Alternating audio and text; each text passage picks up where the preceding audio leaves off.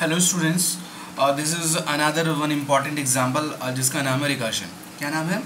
Recursion इसकी अगर definition की बात करो a function function you know very well what is function a block of code which perform certain task and return something output of whatever okay a function you know very well that calls itself a function जो खुद को ही call करे अभी तक आप क्या कर रहे थे? एक मेन के अंदर आप एक फ़ंक्शन को पर्टिकुलर कॉल कर रहे थे. ऐसा सिचुएशन है एक फ़ंक्शन खुद को ही कॉल कर रहा है.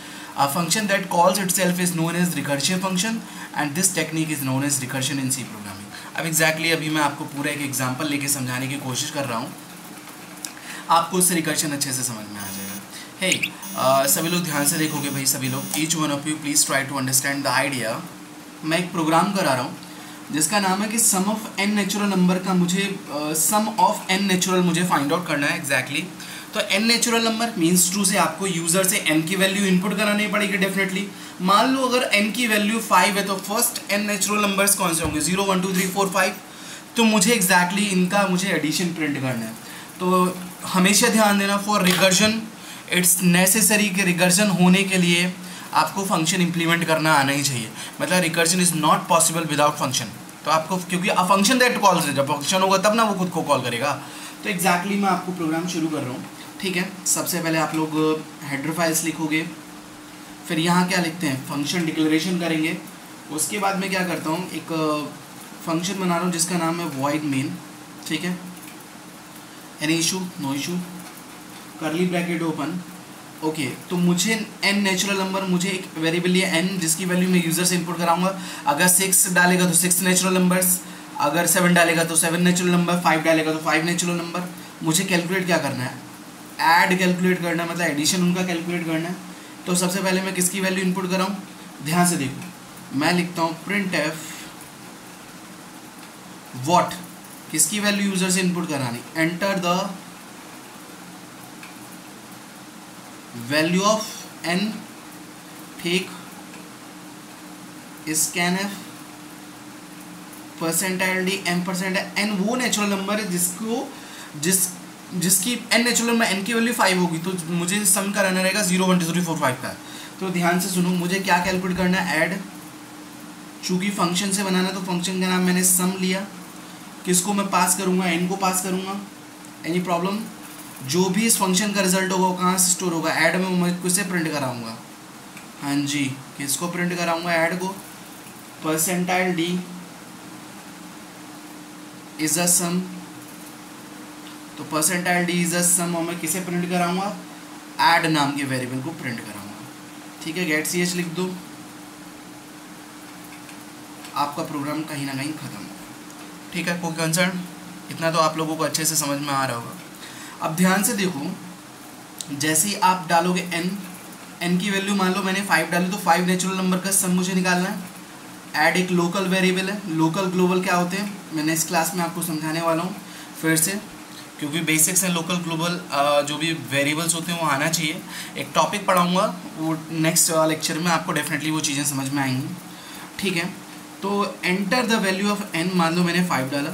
स्कैन एफ़ में फाइव इनपुट हो गया। मुझे क्या कैलकुलेट करना सम सम को जैसे प्रिंट एफ़ को कॉल लगी होगी हेडर फाइल्स में मिल गया होगा स्कैन को कॉल लगी होगी हेडर फाइल्स में मिल गया होगा, लेकिन जब सम को कॉल लगी सम नाम का फ़ंक्शन आएगा। तो सम नाम के फ़ंक्शन की मैं बॉडी बना रहा हूँ इस तरफ़। ठीक है? कोई प्रॉब्लम नो प्रॉब्लम ठीक है? तो एक बात बताओ, जो एडिशन कैलकुलेट होगा, जो सम कैलकुलेट होगा एन नेचुरल नंबर्स का, वो किस टाइप का होगा? इंटीजर टाइप का होगा? तो रिटर्न टाइप क्या लिखा मैंने? इंटीजर एनी प्रॉब्लम फ़ंक्शन का नाम एज इट इज़ सम लोगे वहाँ से एक्चुअल में क्या आप कॉल बाय वैल्यू आप कितनी, क्या पास कर रहे हो? वैल्यू पास कर रहे हो? वैल्यू किस टाइप की? इंटीजर टाइप की। इसका मतलब रिसीवर किस तरह का चाहिए होगा? इंटीजर टाइप का चाहिए होगा। मान लो मैंने सेम वेरिएबल भी ले सकते हो आप लोग। मैंने आपको ऑलरेडी बता चुका हूँ। This is function definition this is calling the function यहाँ क्या लिखते हो? डिक्लेरेशन द ऑफ़ फ़ंक्शन ठीक। अब ध्यान से देखो, मैं कुछ कोड लिख रहा हूँ। आपको रिकर्जन बहुत अच्छे से समझ में आएगा। मैंने लिखा n equals to equals to zero return n और फिर मैंने लिखा else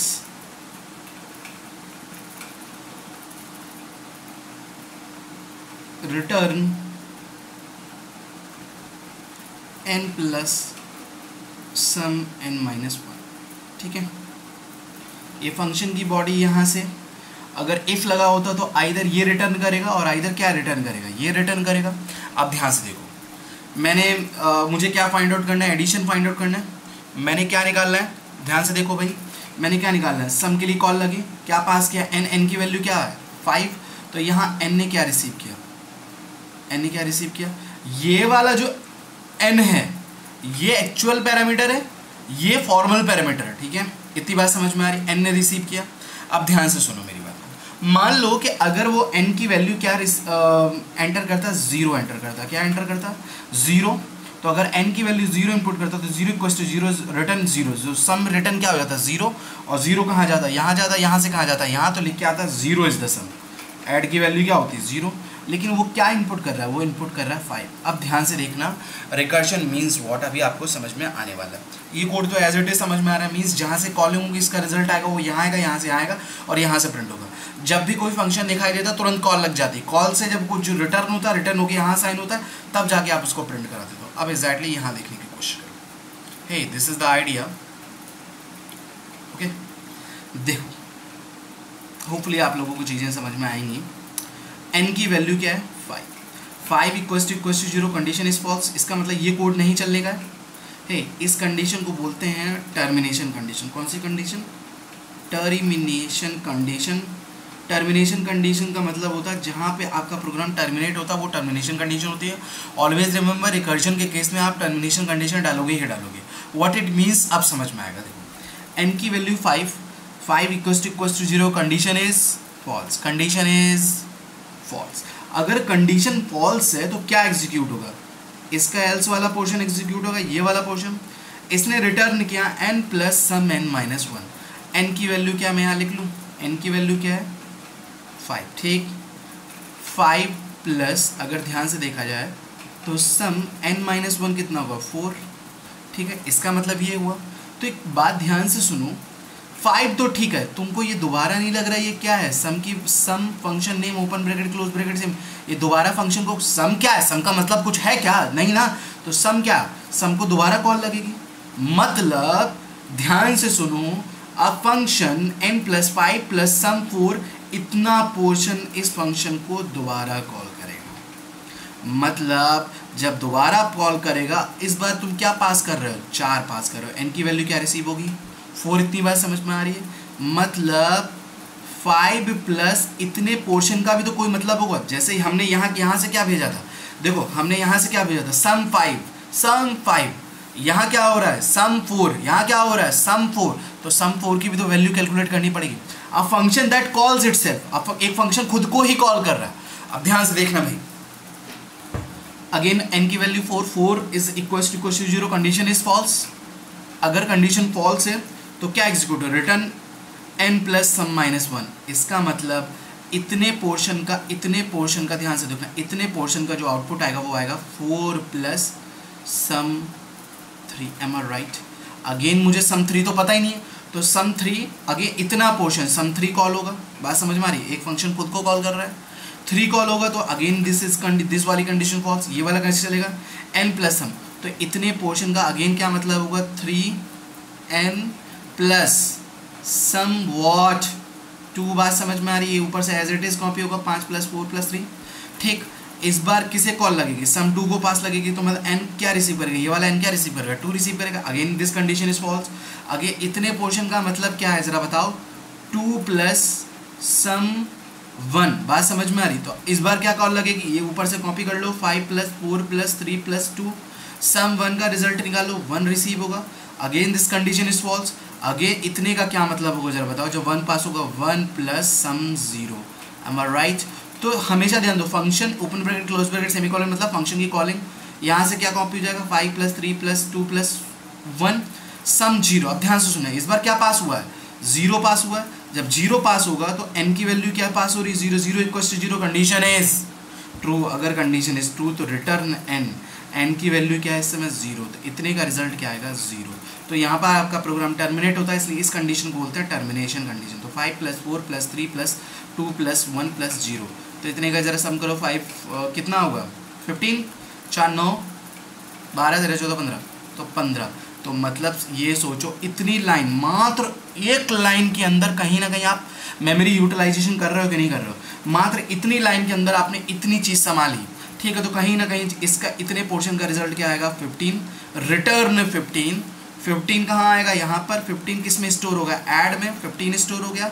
तो लिख के आएगा, फिफ्टीन इज़ अ बात समझ में आ रही? तो दिस इज़ तो मैंने डेफिनेशन लिखी है यहाँ पर। A function that calls itself is known as recursive function and this technique is known as recursion in C program hopefully आपको समझ में आ रहा है? ठीक है, मैं एक और एग्ज़ाम्पल आपको लेकर समझाता हूँ, जो कि इंपॉर्टेंट भी है, जो कि एग्ज़ाम में बहुत बार पूछा भी जाता है। है एक मैं सेकंड एग्जांपल और समझा रहा हूँ रिकर्जन के लिए। आप लोग सबको फैक्टोरियल प्रोग्राम बनाना सभी को आता है। तो कहीं ना कहीं जो फैक्टोरियल प्रोग्राम है फैक्टोरियल प्रोग्राम हाँ जी using recursion using recursion recursion means अच्छा सुनो, ये सब चीज़ें आप लोगों को मज़ाक लग रही है। अभी खुद से मैं कोई रिकर्जन का प्रोग्राम बना दूँगा तो आप लोगों से नहीं होगा। तो कहने का मतलब ये चीज़ें प्रैक्टिस से ही आती हैं कि अगर आप लोग थिंकिंग करोगे इसका रिकर्सिव रिकर्सिव रिलेशन जो है कैसे बना सकते हो रिकरेंस रिलेशन हो, वो सारी चीज़ें आप धीरे धीरे सीखोगे जब डा पढ़ोगे, बहुत सारी चीज़ें अभी तो बेसिक्स पढ़ रहा हो। हाँ जी तो एक चीज़ अगर हाँ जी तो लास्ट वाले प्रोग्राम में अगर ध्यान दो तो आप लोगों ने क्या मिस किया था? एक चीज़ मिस की थी वॉट हमेशा ध्यान दो, यहाँ पर आप लोग क्या लिखोगे? वॉट फ़ंक्शन डिक्लेरेशन तो फ़ंक्शन डिक्लेरेशन आपका इंट और एन और यहाँ सेमिकॉलन आप लोग ज़रूर लगाओगे। तो आप जो प्रोग्राम पढ़ रहे हैं, वो है आपका फैक्टोरियल प्रोग्राम यूजिंग रिकर्जन तो मान लो सबसे पहले again header files header file header file आप जो मेन फ़ंक्शन है, वो पहले भी बना सकते हो मेन से, और बाद में भी बना सकते हो। ठीक है ना? अगर पहले बनाओगे तो there is no need of declaration मैं अभी बता रहा हूँ। ठीक है तो मैंने क्या किया, यहाँ डिक्लेरेशन करूँगा, मैंने लिखा मान लो कभी कभी आप लोग नेट पे देखते हो इंट ज़ीरो सॉरी इंट लिखते हो ना तो मैंने लिखा है इंट मेन फाइन इंट का मतलब सक्सेसफुल ऑपरेशन रिटर्न कर रहा है तो रिटर्न ज़ीरो और वन लिखते हो आप लोग। कई जगह देखा होगा आप लोगों ने। तो zero is nothing a successful operation ठीक है, वो भी मैं अभी डिस्कस करूँगा। ठीक है। मान लो कि मुझे फैक्टोरियल निकालना, मैं यूज़र से वैल्यू नहीं ले रहा हूँ, मैं डायरेक्ट एक वेरिएबल ले रहा हूँ int i equals to five मतलब मुझे फाइव का फैक्टोरियल निकालना है। ठीक है? एक और चीज़ सिखाता हूँ आज तक जितने भी आपने प्रोग्राम किया आप क्या करता था? कि फ़ंक्शन कोई वैल्यू रिटर्न करता था और उसको आप किसी और में असाइन करते आप ऐसे भी कर सकते हो देखो। प्रिंट है ध्यान से, अब से आप लोग ये भी कोशिश करो जो मैं कर रहा हूँ। Factorial of percentile d is percentile d i comma fact i कुछ समझ में आया? मतलब यहाँ मैं कर रहा हूँ रिटर्न ज़ीरो ध्यान से सुनो रिटर्न ज़ीरो इसलिए क्या क्योंकि रिटर्न टाइप इंट है तो कहीं ना कहीं ज़ीरो वन रिटर्न करना होता है। ध्यान से, ये भी मैं समझाऊँगा अभी डिटेल से, अभी वेट करो थोड़ा सा। देखो i equals to five okay अब देखो आई इक्वल्स टू फाइव तो जैसे आप लोग क्या करते थे? हमेशा एक, अगर रूल के अकॉर्डिंग अभी तक जितने आपने फ़ंक्शन के प्रोग्राम बनाए, आप क्या करते? एक एक्स्ट्रा वेरिएबल लेते फैक्ट और इस जो यहाँ पर अगर ध्यान दो तो ये एक फ़ंक्शन नहीं दिख रहा है। Open bracket function name open bracket close bracket और सेमीकोलन ये फ़ंक्शन को कॉल नहीं लग रही है। तो प्रिंट के अंदर भी कॉल लगा सकते हो। मतलब जो वैल्यू रिटर्न हो के आएगी, वो डायरेक्ट यहीं आएगी और यहीं डायरेक्ट प्रिंट हो जाएगी प्रिंट ऑफ़ लिख के आएगा? The factorial of percentile d percentile d is related to i factorial five is जो फैक्टोरियल रिटर्न हो के आएगा रिटर्न तो हो के आएगा ना फ़ंक्शन से। कहाँ स्टोर हो जाएगा यहाँ? जो भी मान लो फाइव का फैक्टोरियल क्या आएगा? बताओ भाई आप लोग, कितना होता है? वन या वट एवर जितना भी होता है, वो कहाँ होगा? यहाँ डायरेक्ट स्टोर हो जाएगा। तो आप लोग ध्यान से सुनो, आप कभी कभी फ़ंक्शन कॉल का मतलब फ़ंक्शन कॉल नहीं करने अभी तक आप लोग एक्जैक्टली क्या लिखते हैं? ऐसे करके लिखते हैं, अगर फ़ंक्शन लिखते हैं। फैक्ट इक्वल्स टू फैक्ट और आई पास कराते जिसका मुझे यहाँ से जो वैल्यू रिसीव होती है, वो यहाँ डाल दे, अगली लाइन में प्रिंट कराते नहीं, एक लाइन खराब होने की क्या ज़रूरत है? डायरेक्ट यहाँ भी आप लोग फ़ंक्शन को कॉल कर सकते हो। इतनी बात समझ में आ रही है? हाँ जी। अब मैं क्या कर रहा हूँ? मैं फ़ंक्शन का बॉडी बना रहा हूँ, ध्यान से देखना। फ़ंक्शन को कॉल लगेगी फैक्ट नाम के फ़ंक्शन को कॉल लगेगी। मैंने कॉल लगाई मतलब कॉल लगाया, लेकिन बॉडी मिलेगी नहीं तो मुझे पहले बॉडी बनानी पड़ेगी। तो एक बात है फैक्टोरियल रिज़ल्ट आएगा इंट का रिज़ल्ट कितना आएगा? इंटीजर ही आएगा। तो मैंने इंट रिटर्न टाइप बताया। फ़ंक्शन का नाम क्या है? फैक्ट वेरी गुड आई किस टाइप का वैल्यू इंटीजर टाइप का। यहाँ भी आप आई भी ले सकते हो वट एवर डिफरेंट भी ले सकते हो। मैंने आई ही ले लिया। तो देखो, सबसे पहले टर्मिनेशन कंडीशन लिखती है। एक बात बताओ, अगर आई की वैल्यू ज़ीरो हो तब फैक्टोरियल कितना होता है? वन हो तब फैक्टोरियल कितना होता है? आई और ज़ीरो देखो, ये कंडीशन ट्रू कब होगी? जब आई की ज़ीरो हो। अच्छा ये एक और चीज़ आप समझो। एक चीज़ मैं मिस कर रहा हूँ। क्या मिस कर रहा हूँ? अभी ध्यान से सुनना। कि जो यूज़र है, वो नेगेटिव वैल्यू भेज सकता है। तो ध्यान से सुनना, यहाँ एक चीज़ मिस कर रहा हूँ। आप यहाँ पर लगा देना अनसाइंड अनसाइंड मैंने आप लोगों को पढ़ाया था जब डेटा टाइप्स पढ़ाए थे। कि अनसाइंड मीन्स होता है कि ओनली क्या स्टोर करेगा? सिर्फ़ पॉजिटिव नंबर से स्टोर करेगा। तो पॉजिटिव नंबर ये कंडीशन कब कब ट्रू होगी? ज़ीरो के लिए ट्रू होगी और वन के लिए ट्रू होगी। तो ज़ीरो हो अगर आई की वैल्यू तब भी फैक्टोरियल क्या रिटर्न करना चाहिए? रिटर्न वॉट वन और अगर वन हो, तब भी वन ये अभी मैं एग्जीक्यूट करूँगा। एल्स हाँ जी, ज़रा बताओ क्या लिखूँगा? Direct return return i into fact i minus one let's see how it happens ठीक है? अब ध्यान से समझो। Please try to understand the idea hey वहाँ से क्या पास हुआ? आई की वैल्यू क्या पास हुई होगी? फाइव पास हुआ होगा? यहाँ आई क्या रिसीव करेगा? आई क्या रिसीव करेगा? फाइव रिसीव करेगा? Five is less than i condition is false तो क्या एग्जीक्यूट होगा? ये एग्जीक्यूट होगा, जैसे लास्ट प्रोग्राम देखा था तो ये क्या बन जाएगा अगर ध्यान? Five into fact i minus one क्या हो जाएगा? फोर अगर ध्यान दो तो फैक्ट फाइव की वैल्यू निकालनी थी। मतलब अगर ये जो लाइन बनी, ये लाइन जो बनी, ये किससे बनी? फैक्ट फाइव से बनी। अब मेरे पास ये वाला है फैक्ट फोर का तो मुझे मतलब ही नहीं पता। तो अगर इतना पोर्शन ये क्या करेगा? खुद को कॉल करेगा। और इस बार फैक्ट अपने आप को कॉल कर रहा है फैक्ट नाम के फ़ंक्शन को। आई की वैल्यू क्या पास कर रहा है? चार पास कर रहा है, ये चार हो गया। तो इतने का क्या मतलब होगा, पता है? Four is less than equals to one condition is false तो ये आपका कंडीशन फॉल्स हो गया। तो ये कंडीशन आपका एग्जीक्यूट होगा। तो इतने का मतलब होगा four into fact what three am are right इतने में क्या होगा? अगेन कॉल करेगा function calls itself three इतने का क्या मतलब? ये condition false again three into fact two मैं सही जा रहा हूँ क्या? ठीक है. अगेन फैक्ट टू को कॉल करेगा. टू कॉल करेगा तो ये वाली कंडीशन अगेन फॉल्स ठीक है? तो इतने का पोर्शन क्या मतलब क्या होगा? टू इंटू फैक्ट वन अब ध्यान से देखना. फैक्ट वन जब कॉल करेगा तो जब वन कॉल करेगा तो one is less than equal to one तो इक्वल्स टू कंडीशन ट्रू तो रिटर्न वन इतने का आउटपुट क्या आएगा? वन इतने का आउटपुट क्या होगा? और बाकी एज इट इज़ आपका कॉपी हो जाएगा। Five into four into three five into four into three into two और five into four into three into two into one तो इनका सिक्सटी सिक्सटी इसका रिज़ल्ट कितना आ रहा है? वन ट्वेंटी मतलब इतनी लाइन का रिज़ल्ट कितना है? वन ट्वेंटी कहाँ से कॉल हुआ था? यहाँ से कॉल हुआ था? रिटर्न होगा तो रिज़ल्ट क्या जाएगा यहाँ पर। वन ट्वेंटी जाएगा। यहाँ पर वन ट्वेंटी जाएगा, लिख के आएगा factorial of five is one twenty means आप फैक्टोरियल की भी वैल्यू प्रिंट करा सकते हो बट फैक्टोरियल को हमेशा कॉल कर सकते हो। This is called recursion a function that calls itself is called a recursion अच्छा मान लो कि अगर वो आई की वैल्यू ज़ीरो इनपुट करता तो ये क्या चलता? नहीं चलता। डायरेक्ट होता। Zero is less than equals to one condition true return होता। वन डायरेक्ट वन तो होता factorial zero is one so this is how the recursion like कैसे वर्क करता है recursion thank you for today